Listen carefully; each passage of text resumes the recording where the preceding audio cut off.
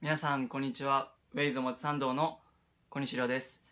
今日もヘアアレンジをやっていきたいと思います。今日のスタイルはこちらになります。今日はクルリンパと三つ編みの組み合わせのヘアアレンジになります。耳上にクルリンパを作って耳下の紙で三つ編みを2本作ってそれを交差して、えー、作ってるアレンジになります、えー、このスタイルはちょっとしたカジュアルなパーティーだったりとかあとはえっ、ー、とこれからの時期タートルネックだったりハイネックあとマフラーを使うことが多くなってくると思うんですけどそういう襟元が詰まってるようなファッションそういうのに、えっと、すごく合うヘアスタイルになってます。もちろん、えっと、ハットだったりニット帽とか組み合わせても全然 OK だしすごく可愛いと思います。これからの時期すごく使えるヘアレンジになってるので皆さんもぜひ練習してみてできるようになってみてください。ではフル動画でアップしていきたいと思います。はい。ではヘアレンジやっていきたいと思います。まず最初にクルリンパのブロッキングになります。耳上から床と平行に髪の毛を取ります。こんな感じですね。これを、えーと、くるりんぱしていくんですけど最初に顔周り少し残しておきます。でしっかり手ぐしを通してからゴムで留めます。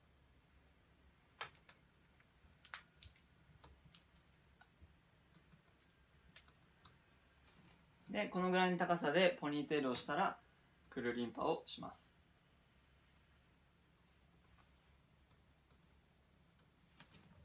のぐらいですね。このくるりんぱをしたら横と縦に一度ギュッと締めます。でこの時点で、えーと軽くほぐしておきます。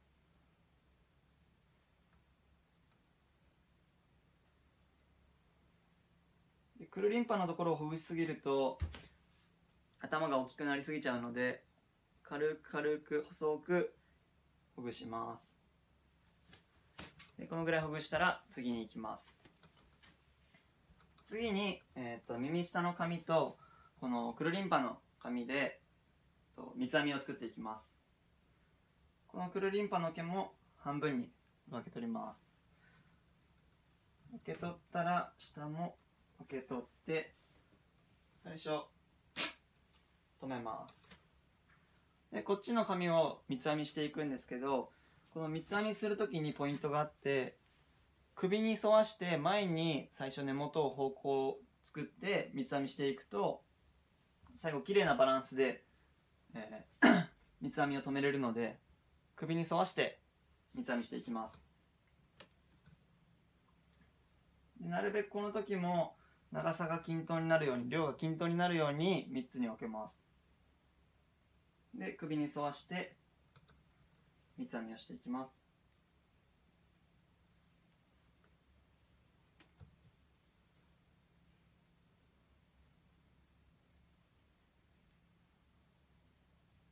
細かい毛出てくると思うんですけどそこは全然無視しちゃって大丈夫です。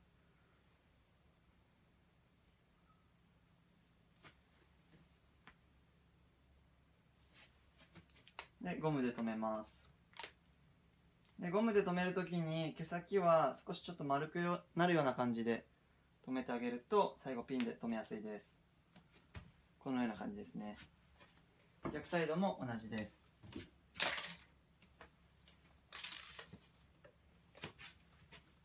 首に沿わして三つ編みをしていきます。3本均等になるように量を分け取ったら三つ編みを首に沿わしてやっていきます。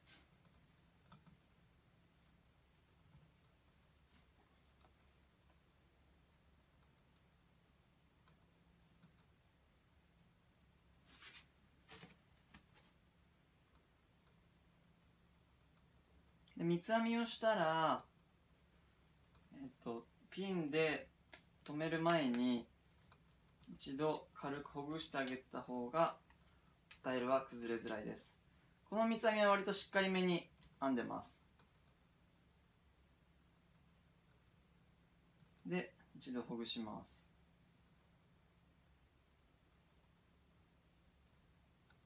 でほぐす時に顔側顔側をこっち側を、えー、とほぐしてあげれば全然 OK です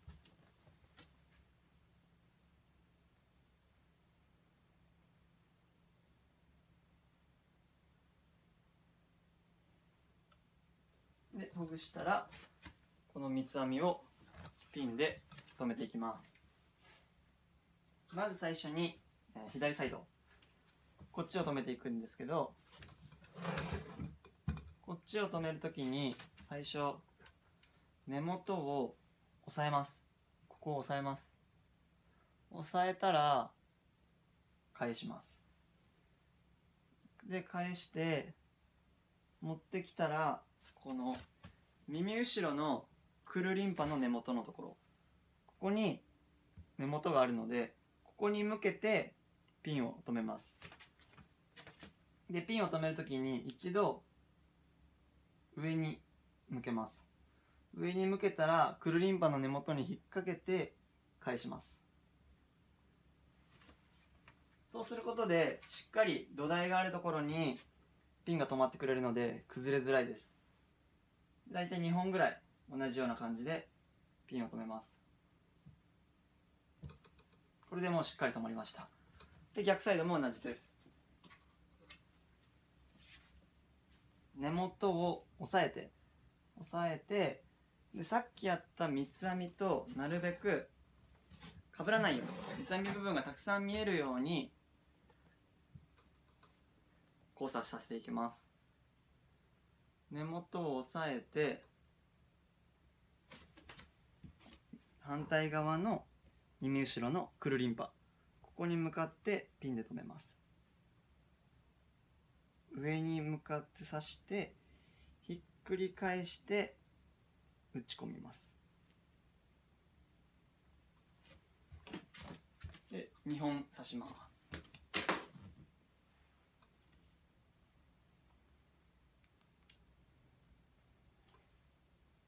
この刺し方で2本刺してあげればほとんど崩れることはないのでこのようにやってあげると完成です。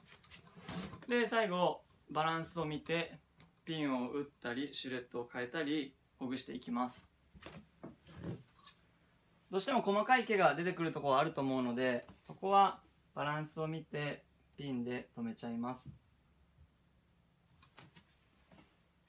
でこのシニオンアレンジは首もっとすっきりさせた方が全体バランスが綺麗だと思うので襟足の方はしっかり押さえていきます。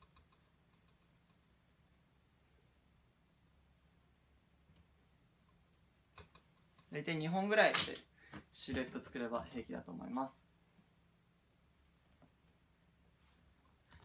で最後バランスを見てトップのボリュームもう少し足したいなとかサイドの幅少し広げたいなとかあれば広げていきます。横ほぐしすぎると頭大きく見えちゃうのでさっきも言ったように細く細く柔らかい印象を与えるような感じでほぐしていきます。高さはしっかり出しながらやってあげるといいと思います。で、えっと、くるりんぱの後ろにここでピン止めてるんですけどこれがどうしても見えちゃうっていう方はその上のくるりんぱを引っ張って上にかぶせてくるような感じで止めてあげるといいと思います。このような感じでそのピンは隠せられるので止めて、えー、ほぐしてみてください。はい、えー、これで完成になります。今日はシニオンアレンジになります。耳上の髪をくるりんぱをしてで襟足三つ編みを2本作ってそれを交差してピンで留めるというふうにシニシニオンアレンジになります、まあ、このスタイルはまあ、パーティースタイルだったりとか、えー、まあ、冬とかで、マフラーとかをしたいっていう方に首元すっきりさせた状態でマフラー巻けると思うので、おすすめです。